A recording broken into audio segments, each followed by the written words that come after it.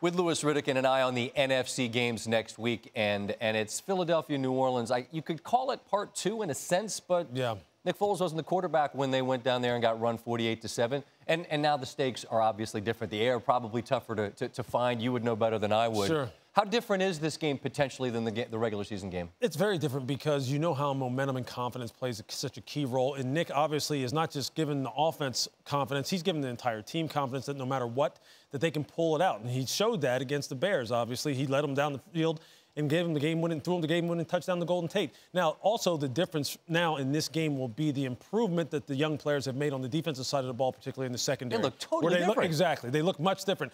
They're still rather simplistic but they're playing better with much, much more confidence, unlike when they were down there before and Drew just carved them up. On top of that, too, look, Fletcher Cox, Whew. he's as good as it gets. yeah. So he, he's, and he's going to have to be that good down there yeah. to slow down that running game first so Drew then can just go off on you and be a two-dimensional type of offense. I mean, no disrespect to uh, the Ferrari, Mr. Trubisky, but I mean, Drew Brees is a different dude, man. He's got he's, he's got a wealth of playoff experience. Yeah. I'd be really, really interested to see if Philadelphia can hang the way they did in this game, getting the win on the road against Chicago. Then we get Dallas and LA, the Stars yeah. and all this and that. This Rams team has looked a lot different. I mean, you lose Kupp, Gurley's been out, and now last year they, they laid an egg at home, yeah. and now here comes Dallas off this win at home. What do you think we see in Th- that game? This could be a very, very tough matchup for them, for the Los Angeles Rams. Why? Why? Because the the speed of the Dallas defense and the ferocity with which they play and really attack the line of scrimmage is something that you saw when the Eagles went out there and played the Rams. It had Jared Goff on his heels. It had the interior of that offensive line on its heels.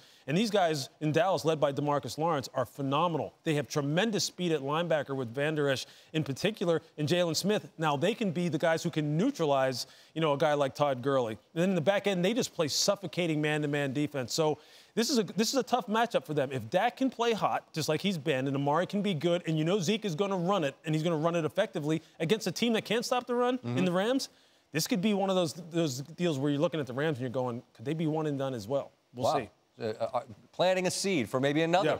Another road team to do well. This yep. is certainly a weekend where the, where the road teams and the road dogs were, were barking loud. Louis, appreciate yeah, you. You got it.